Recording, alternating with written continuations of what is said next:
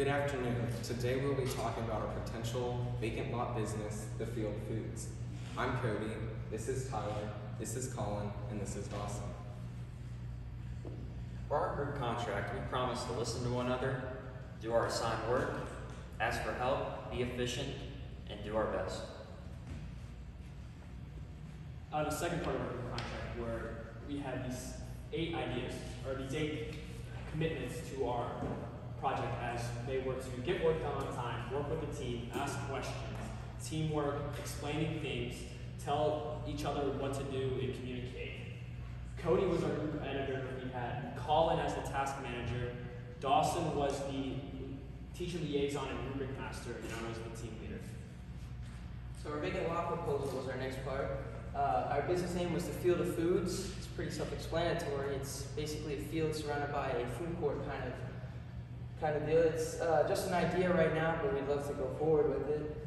Um, our form of business is proprietorship, and um, the website's pretty basic too. It's just the name.com.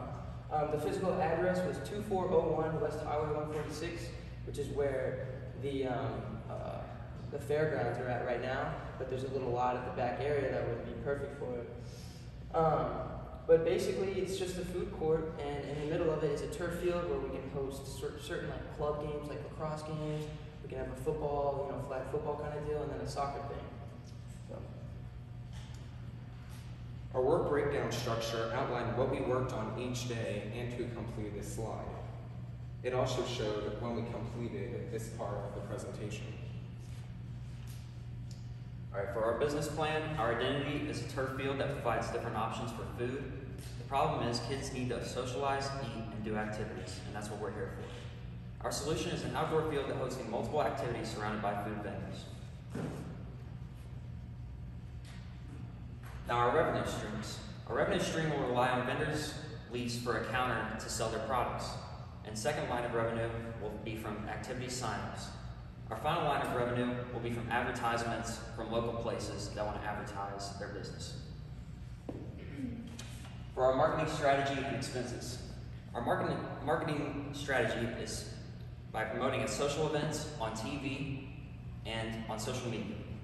Our expenses include sporting equipment, seating, and vendor buildings.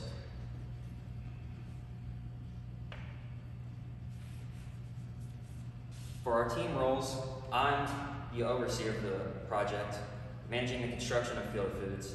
Cody will be the marketing officer and will promote the project.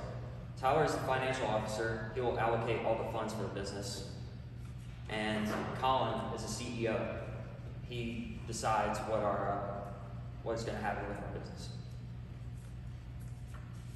We use this decision matrix to determine what business would be best for us. We chose between a food court with a field, Chick fil A, an ice cream shop, and a gym.